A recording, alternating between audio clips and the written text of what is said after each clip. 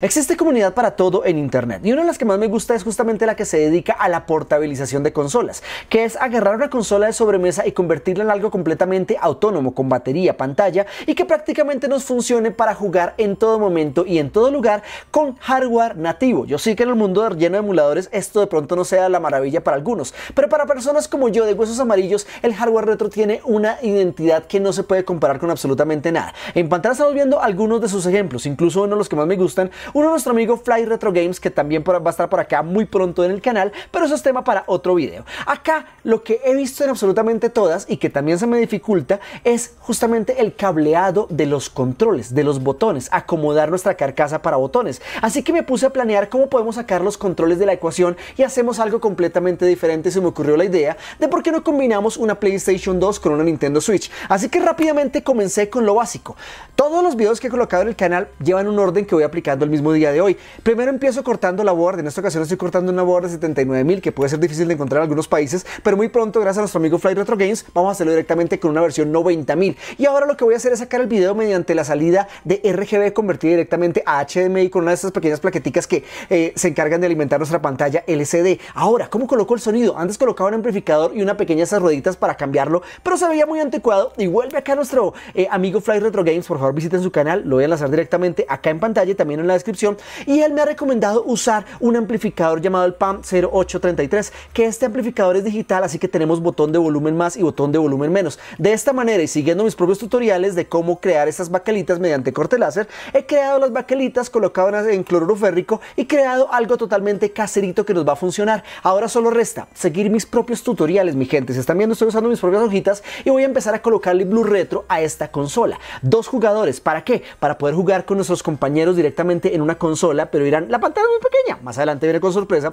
Vamos a colocar también, en esta ocasión como es un tipo Switch, vamos a que nos reconozca nuestros dos controles de Switch como si fuera directamente un solo control. Así que voy a colocar Blue Retro y ahora que nos faltaría únicamente cablear nuestra memory card y también una memoria CD para ejecutar el MX4 CIO, que ya saben que en comparación de velocidad es mucho más rápido que los juegos mediante USB y así que no se van a laguear nuestros eh, videos ni absolutamente nada. Ahora, con unas pequeñas pruebas de impresión 3D que realmente me duelen muchas pesadillas, he empezado a ensamblar absolutamente todo. Y para poder facilitar la transmisión de datos e información entre nuestra parte que ya está soldada y nuestra placa que está preparada, he usado uno de esos conectores FSP, en esta ocasión de 20 pines, que me va a facilitar toda la existencia. Y ahora, para alimentar, para darle autonomía a nuestro proyecto, he colocado una batería, no, una no, dos baterías de Nintendo Switch, obviamente reciclada para reducir nuestra huella de carbono. Y vamos a colocar acá unos niveladores, unos estabilizadores de carga para evitar la sobrecarga y la sobredescarga, colocando un cargador que vendría siendo 2S. Estamos creando dos celdas de 4000 de 4.380 amperios, lo que va a dar una autonomía que hasta el momento no he medido, pero que yo sé que por lo menos nos va a alcanzar para poder disfrutar de nuestra consola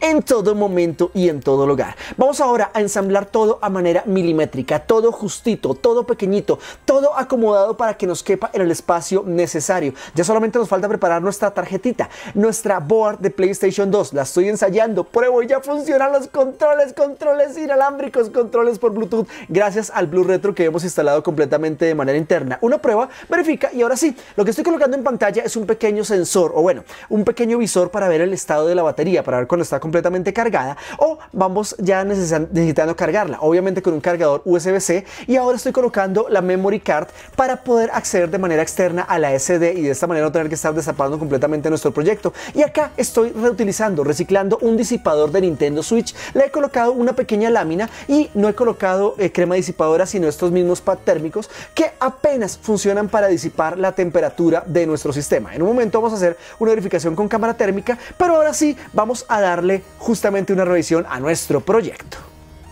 No te quedes sin la tuya, voy a vender unas pocas justamente para buscar patrocinio para el canal quedando de esta manera. ¡Ey, por fin! No puedo creerlo. En serio, no se imaginan cuántos días haciendo correcciones, mejoras, cambiando cosas por milímetros. Y en este momento ya tenemos una PlayStation 2 completita en este aparatito del tamaño de mi mano. Yo tengo manos de muñeca. Tenemos una pantalla, una PlayStation 2 original, me refiero hardware nativo. Y en esta ocasión solamente nos falta prenderla. Vamos a encender por acá. Primero encendemos nuestro sistema, después encendemos nuestra PlayStation 2. Vamos a esperar acá que suene. ¡Oh, qué bonito! Miren, ¡ah, qué bonito! Voy a colocar esto para que se vea de forma mucho más fácil. Y ahora sí, lo bueno de haberle colocado luz retro es que justamente podemos conectarle cualquier tipo de control. Pero si configuramos nuestro luz retro como estoy mostrando en pantalla, podemos habilitar que nuestro primer control de Joy-Con sea la parte izquierda y nuestro segundo control sea directamente el complemento de un control de esta manera, uniendo los dos como si fuera simplemente un control de PlayStation 2 y jugar todos nuestros títulos. Y lo mejor de todo, incluyendo vibración en el sistema. Como sabemos, esta hora es unos 79.000, así que yo podría ejecutar el exploit de manera completamente directa, pero pues ya ahorita lo instalo. Acá, acá tengo el OPL y acá simplemente regreso que se ejecute el exploit. Esperamos que cargue rápidamente tenemos acá nuestros juegos. Oh, voy a colocar God of War por acá, el dios de la guerra. Rápidamente lo ejecutamos. ¡Ah, qué bonito! Completamente funcional. Y lo mejor de todo es esto, que nuestra PlayStation 2 tipo Switch tiene acá los rieles. Así que únicamente vamos a colocar acá nuestro controlcito. Chaca, chaca, chaca, chaca. Lo ponemos, ponemos acá el de este lado. Simplemente llegamos acá y ya tenemos acá nuestra PlayStation 2 completamente lista y jugable como si fuera una Nintendo Switch. Acá la estoy manteniendo porque obviamente como siguen siendo versiones de prueba estas tapitas, pues si la suelto se me va a acabar. Pero lo mejor de todo mi gente es que podemos disfrutar de una consola en hardware completamente nativo y con la facilidad que nos permite poderle adaptar cualquier tipo de control. ¿Por qué? Porque obviamente podemos conectarle otros controles a nuestra, a nuestra consola y manejarla así como si fuera una Switch. Y esto, pero vamos a la acá, rápido, rápido, rápido, quiero jugar. Adelanto hasta que se pueda jugar. Ay, no, no digan que no digan que se ve hermoso, que no se ve hermoso. Y es hardware nativo. No, miren esto. Y vibra también el control, ¿se siente? ¡Espectacular! Y si no quieren jugar de esta manera, pues únicamente quitamos nuestro Joy-Con y podemos seguir jugando en nuestra querida consola. Pero bueno, rápidamente voy a reiniciar para mostrarles algo. Quieran ustedes, ¡ah! Lo único feo es esa carcasa extraña que hizo Yakara. Pues justamente... Eh, tengo que explicarles que como tengo pensado vender algunas de estas, pues hay una pequeña magia y únicamente sacudimos esto mente rápido. ¿Se dan cuenta? Miren acá, ¿Quieren verlo otra vez? Miren, volvemos a esta. Compárenla, compárenla otra vez. Mírenla bien por acá. Voy a volver a pasar a la otra. Mírenlo. Vuelvo a pasar a esta. En serio, mírenla por todo lado. Pero es que lo único que tenemos que hacer es sacudirla. Pero no, ya dejémoslo de la otra forma porque se ve mucho más hermosa.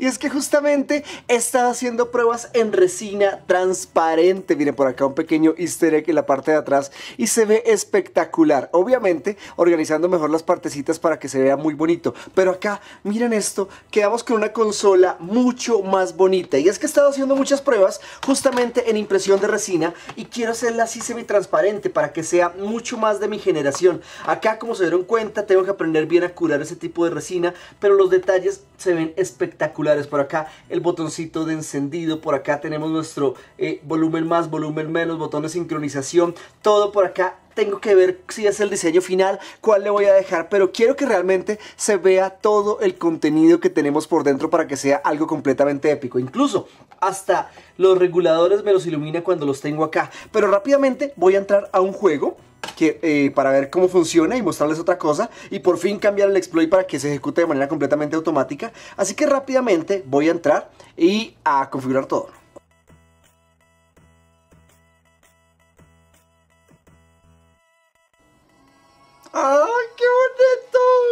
En serio, en serio, acabamos con el Ero, Este juego me trae muchísimos recuerdos.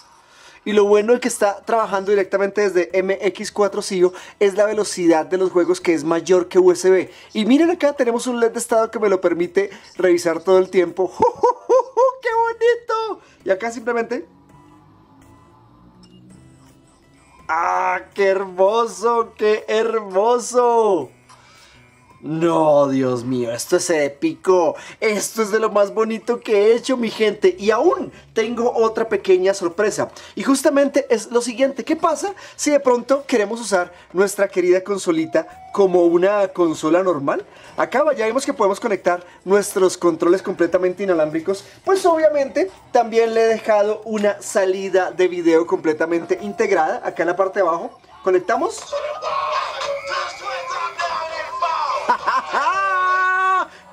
Hermosura! Miren, estamos viendo directamente acá y conectar cualquier pantalla. Esto es completamente épico. Así que podríamos crear una mini switch, no sé.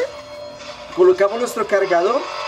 Va a cargar nuestra batería. Mientras está cargando podemos agarrar nuestros controles. Voy a mostrarles acá.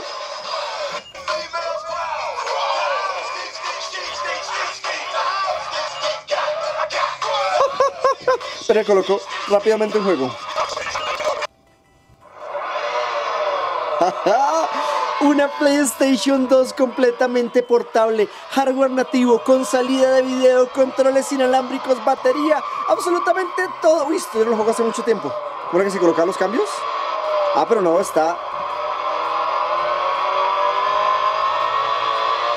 ¡Ah, qué bonito! Y se ve, yo creo que mejor en la pantalla que tenemos acá. ¡Wow! ¡Ay, se me cayó! ¡Qué nota, mi gente! ¡Me encanta! Y en este momento poderlo compartir directamente con ustedes. Volvemos a nuestro modo portable y tenemos acá nuestra consolita. Y lo mejor de todo es que al hacer este diseño con riel de Joy-Con, pues obviamente nuestras posibilidades son infinitas en personalización para hacer una consola todavía mucho más única. Así que mi gente, ¿qué esperan realmente para apoyar el canal? Haciendo la compra de una de estas consolitas portables, donde ya sacamos de la ecuación lo complicado que es cablear todo lo que vendrían siendo nuestros botones. Y acá simplemente con controles inalámbricos podemos hacer una PlayStation 2 tipo Switch. Y lo mejor de todo, mi gente, es que esto abre oportunidades a que hagamos una Wii portable tipo Switch, una, no sé, una, ¿qué otra consola? portable tipo Switch. Eh, eh, mm, ayúdenme, no sé, tengo en la cabeza. Estoy muy emocionado, estoy muy feliz y realmente quería compartir esto con ustedes porque me da mucha, mucha, mucha alegría. Pero no podemos probar una PlayStation 2 portable sin colocar uno de los juegos más épicos que han salido para esta consola, que obviamente salió para muchas más, pero quiero ver justamente cómo se ve bien bonito. Ah, Dios mío, miren esto. Esto acá se puede hacer la miniatura. No, qué cosa tan hermosa, me encanta. ¡Qué bonito! ¡Qué bonito! Tengo que rápidamente cambiar el exploit para poder ejecutarse de manera completamente automática. Rápido voy hasta que cargue solito. Ah, Dragon Ball Z Budokai Tenkaichi 3. ¡Qué cosa tan bonita! Rápido entro hasta que ya pueda jugar. No, miren esto. Y vuelvo y repito, no estamos jugando con emulador, estamos jugando directamente por hardware real en una PlayStation 2 completita que está acá adentro. Aún tengo que hacerle cambios a la carcasa porque realmente la quiero bien hermosa, épica, pelética, pelín pimpuda, pero realmente esto quería compartirlo con ustedes y aunque he durado más tiempo del necesario, realmente me siento demasiado orgulloso del resultado. Y antes de que pregunten, temperatura, vamos a ver, acá he colocado un ventilador que está, no sé si alcanza a ver acá, es un ventilador de switch, ahí está encendido. Y rápidamente si yo miro la temperatura en este momento de funcionamiento, acá sale el, airecito un poco caliente, vamos a colocar rápidamente nuestro, nuestro, es que telescopio, nuestra cámara térmica. Y vamos a ver, miren, justamente la parte donde está el disipador, miren, está muy bien refrigerada, me refiero acá, donde están nuestros integrados. Y acá este lado, que no tiene nuestra disipación, si vemos mayor temperatura, pero vemos que la, temperatura máxima es de 57 grados. Así que bueno, yo creo que se puede diseñar una partecita eh, para que de pronto también cubra acá. Pero vemos que la parte más importante, que justamente es nuestra GPU y nuestro Soundbridge, están, miren, están completamente en azulito, así que están fríos. ¡Qué bonito, mi gente! Y por acá, la parte de adelante, ¿se calentará mucho? Vamos a ver. La única parte que está medianamente caliente es la pantalla, pero es justamente diseñado para que no vaya a soltar ni el aire caliente por los lados, para que no sea incómodo al momento de jugar, pero volvemos a ver acá. Miren, está supremamente bien refrigerado. Acá se ve nuestra laminita y nuestro ventilador.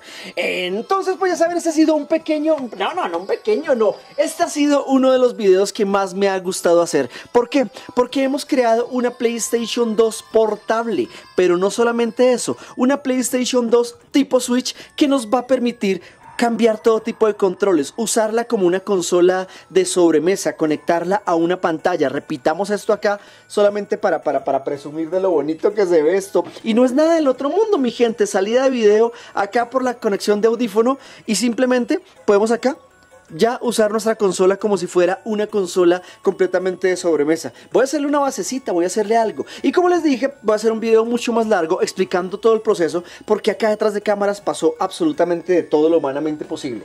En pruebas, haciendo cambios milimétricos, haciendo mejoras, cambiando eh, cablecitos, cambiando cada cosa, colocando la cinta, todo simplemente para mejorar lo que vendría siendo la, la, la, la forma en que se agarra esto para que obviamente no sea como tan incómodo de jugar el agregarle la salida de video solamente fue una, una mejorita ahí como de último momento, pero que va dando algo totalmente espectacular. Por el momento no van a cargar los Joy-Con, pero en teoría se podría hacer a futuro. Así que ya saben, si quieren apoyar el canal, ya eh, visiten el comentario que está fijado y también la descripción para que puedan tener una de estas en sus hogares. Y también obviamente vendré con un video completamente explicativo para el que lo quiera replicar. Y apenas venda las que voy a dejar eh, listadas justamente en la descripción, voy a hacer completamente libre el archivo para que cualquier persona lo pueda imprimir y pueda replicarlo y puedan hacer algo de dinerillo. En este momento quiero capitalizar el canal para poder comprar más partes, piecitas, cada cosa que, eh, que consigo justamente es para poder seguir haciendo contenido y obviamente compartiéndolo con ustedes. Ya saben si les gustó este video, no olviden que el conocimiento cuando no se comparte pierde total valor y el que no vive para servir no sirve para vivir. Si les gustó este video nos vemos en lo próximo, así que... ¿Dónde están los juegos? ¿Por qué no salen? Chao, chao.